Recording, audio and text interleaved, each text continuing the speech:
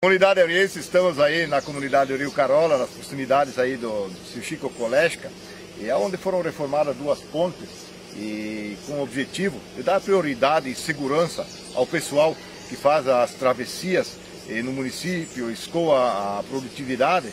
Conosco, o secretário de Obras, Carlinhos, aí, que se propôs a assumir essa responsabilidade em estar trabalhando nesse setor, não só em pontes, mas também em estradas. Também gostaria que tu colocasse eh, as prioridades daqui para frente, Carlinhos, tu que está à frente da Secretaria de Obras e como vão ser os trabalhos eh, eh, na, na sequência.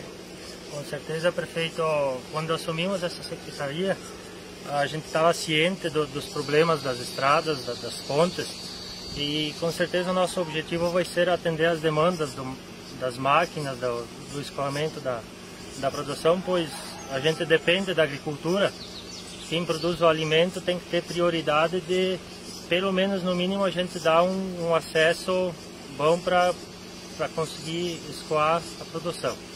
Tá? Então a gente vai, vai focar na, na melhoria das estradas, das pontes, tá?